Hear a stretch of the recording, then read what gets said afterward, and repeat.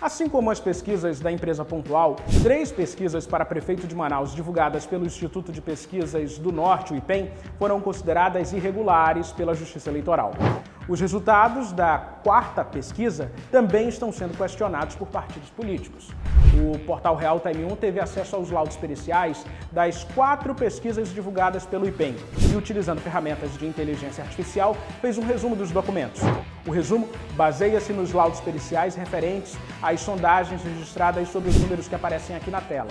De acordo com os laudos, aspas, a utilização de amostragem não probabilística em comparação com pontos de fluxo sem a devida correção estatística, torna as inferências feitas a partir dos dados altamente questionáveis. A falta de comprovação de auditorias, somadas às inconsistências nos dados e relatórios, ainda segundo os laudos, reforça a necessidade de cautela na interpretação desses resultados. Em realtime1.com.br você tem o um resumo completo dos laudos, eu te convido a acessar.